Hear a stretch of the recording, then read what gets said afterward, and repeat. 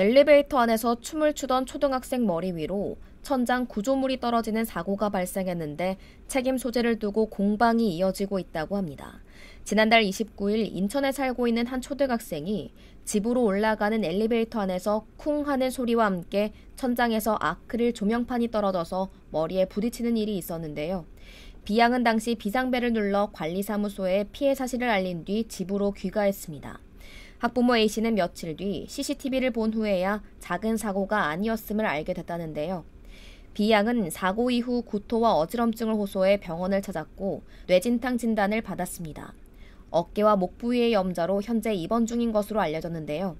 그러나 관리사무소와 엘리베이터 보수업체 측은 사고 책임이 없다는 입장입니다. 사고 발생 열흘 전 가구업체 배달기사가 실수로 가구로 천장을 치면서 구조물이 1차 충격을 받았고 비양이 엘리베이터에서 춤을 추면서 2차 충격을 가해 구조물이 떨어졌다고 주장한 겁니다. 다만 배달기사 측은 천장을 친 사실을 인지하지 못했다면서도 보험 접수해드릴 테니 치료받으라고 연락이 온 상황이라고 합니다. 이에 A씨는 아이가 제자리 뛰기 콩콩 두 번 했다고 승강기가 급정거하며 천장이 떨어질 수 있냐며 아파트 관리소나 업체가 책임을 떠넘기기만 하는 상황에 화가 난다며 분통을 터뜨렸습니다.